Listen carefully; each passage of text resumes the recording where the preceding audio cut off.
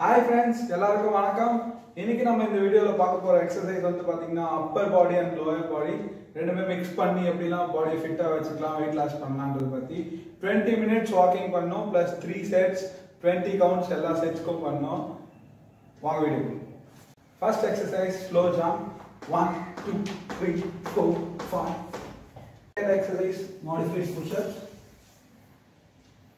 one two three, four, five. Exercise jumping jack. One, two, three, four, five. Fourth exercise squats. Silent பண்றேன். One, two, three, four, five. Next exercise high knees. One, two, three, four, five.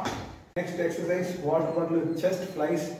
Already சொல்லி கொடுத்த மாதிரி தான் ஸ்ட்ரைட்டாக வச்சுட்டு rice பண்ணுங்க one two three elbow bend பண்ணக்கூடாது four five exercise jumping toe touch one two three four five last exercise abdomen plank V ஷேப்பில் hold பண்ணிட்டு லெக் ஷோல்டர் லெவலில் வச்சுட்டு பாடி ஃப்ளாட்டாக வைங்க உங்களோட அப்டாமன் கோரை நல்லா டைட் பண்ணி ஹோல்ட் பண்ணுங்க one two three four five six seven eight nine ten இந்த மாதிரி வந்து பார்த்தீங்கன்னா தேர்ட்டி டு ஃபார்ட்டி செகண்ட்ஸில் ஒன் மினிட் கூட நீங்கள் ட்ரை பண்ணலாம்.